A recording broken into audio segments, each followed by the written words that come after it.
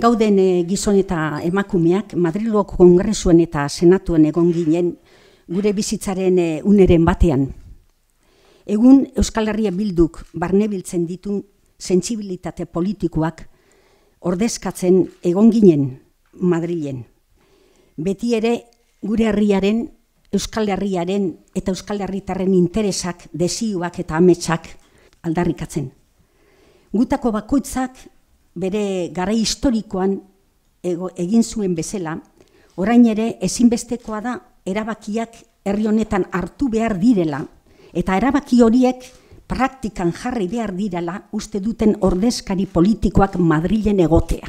Horrela ikusten dugu. Euskal Herria bildu osatzen duten alderdiek beti ulertu zain duten gure herriaren etorkizuna Madrilen jokatzen zen bakoitzean han egon beharra zegoela. Garai egokitu garai hartan egokitu zitzaigun bezala, orain Euskal Herria bilduko ordezkariei e, dagozkie zer egin hori betetzea. Eta e, zenbait eta ordezkari gehiago izan Madrilen noski, ba, hobeto izango da. Euskal Herriaren bilduren boto paper bakoitza herri honen eskubideren aldeko bultzada delako in zuzen. Zenbaitentzat egokitu zitzaigun bezala, orain ere Espainiako estatuaren balizko erreformaz eta horien onurez hitz egiten ari dira Madrilen ditxosozko erreforma, herri honen kontra doan erreforma, herri honen eskubiden aurka doan erreforma. Hemen gauden gizon eta emakumeok ondo baino beto zagutzen dugu zer den balizko erreforma hori. Eta zein den bere esan Euskal Herriaren zat eta Euskal Gizartearen zat.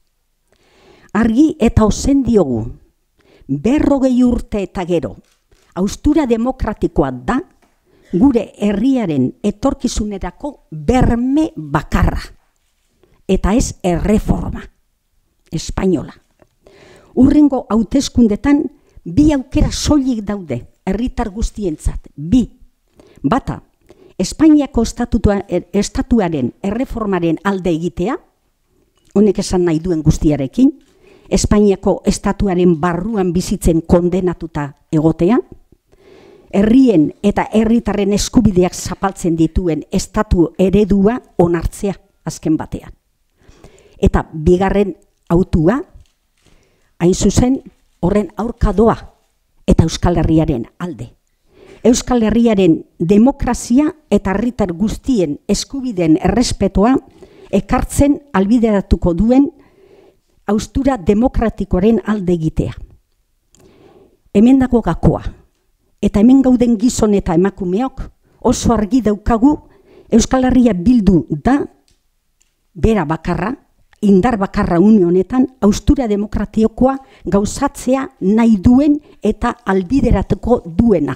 Beraz, herritar guztien eskubideen arrespetuan, Euskal Herrian hartzen diren erabakiak gauzatu behar direla usten duten pertsona guztiek, Euskal Herrian bilduri eskaini eta eman behar diete boska.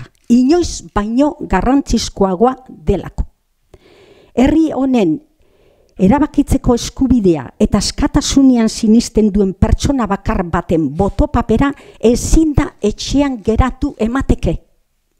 Guk eta gure garaiko pertsonek egindako lan guztiaren fruitua jasotzea gero eta hurbilago dagolako. Zalantzarik gabe borrokan lanean egiten badugu. Eta Euskal Herria bilduk abenduaren hogeiko hauteskundeak bide horretan eman beharreko beste urratsa bat da.